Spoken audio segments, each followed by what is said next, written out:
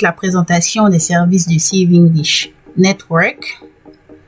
Le CV English Network est en deux catégories de services. Nous avons les services pour euh, apprendre à parler l'anglais aisément et les services pour impacter positivement en parlant l'anglais. Donc, il y a des services pour ceux qui ne savent pas encore parler l'anglais et qui sont en apprentissage.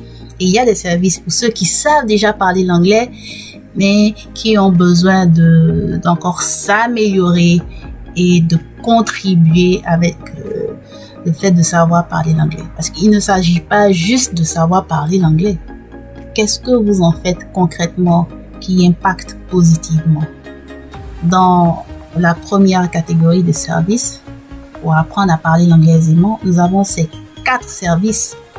CV English Show, ensuite English Stories, ensuite CV English Kids et CV English Scanner.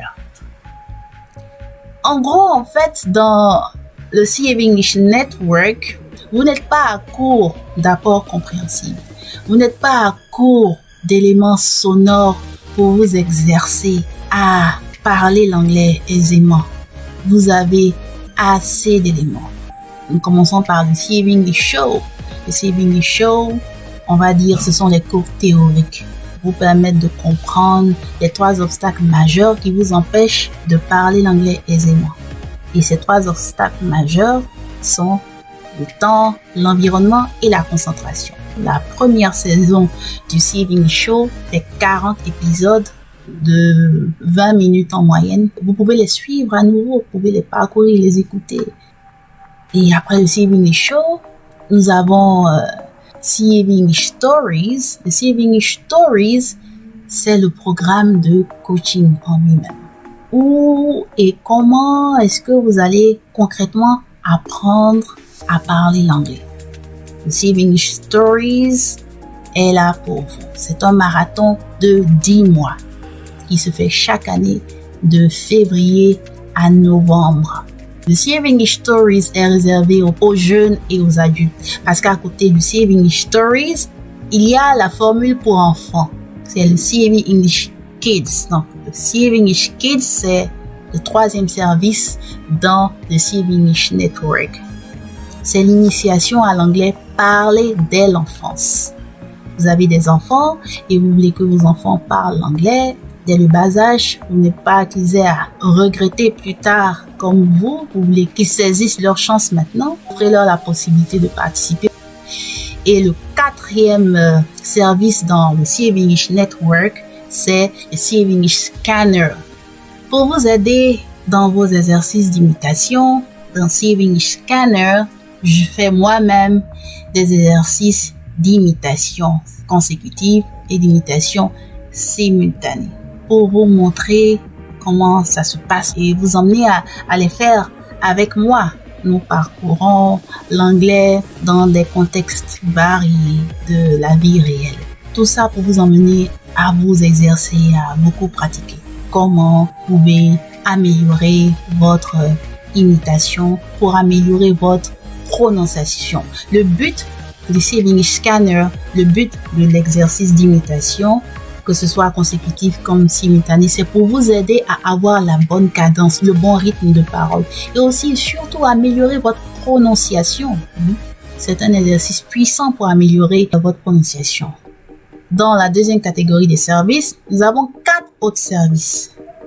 Et ces quatre autres services sont CV English Skills. CV English Skills, c'est un cours en audio de 40 épisodes de 15 minutes par épisode. C'est un cours pour apprendre les compétences indispensables pour réussir professionnellement.